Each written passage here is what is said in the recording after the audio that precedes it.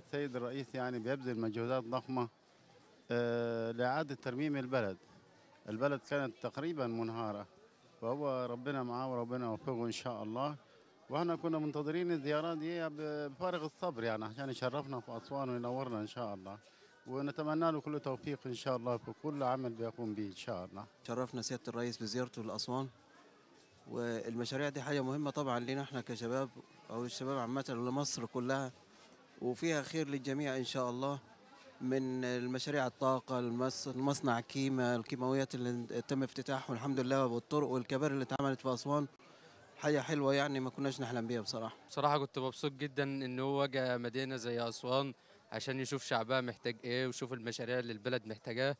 والشعب الأسواني شعب جميل بصراحة يعني وبشكر الرئيس إن هو اهتم بال- بالناس الموجودة هنا و- وحقق لهم حاجة هم كانوا بيحلموا بيها. طفرة كبيرة الرئيس الصراحة ومبسوطين وعمل مشاريع ما شاء الله والدنيا حلوة.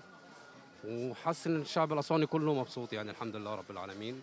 وربنا يبارك لنا في الرئيس ونشوف إن شاء الله في الأحسن بإذن الله. عايزين ولادنا كلهم مش أسوان بس في جميع الجمهورية.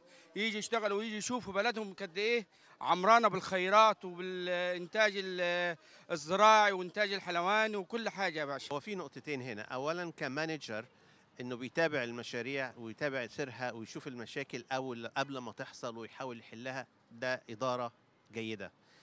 تاني حاجة إحنا ما سمعناش يعني أنا راجل كبير ما سمعتش عن مشاريع كتير بتتعمل في الصعيد فكون إن إحنا بنفتكر الصعيد ونفتكر الناس اللي فيهم أساس حضارة مصر يعني دي شيء عظيم يعني. إحنا بنتابع سيادة الرئيس طبعا آه، في زياراته لتوشكا وزياراته لبنبان وزياراته في أهل أسوان.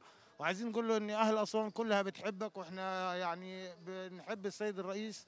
وبنحب السيد فخامة السيد رئيس الجمهورية واهلا وسهلا بيكم شرفتونا ونورتونا أهلا وسهلا بيكم.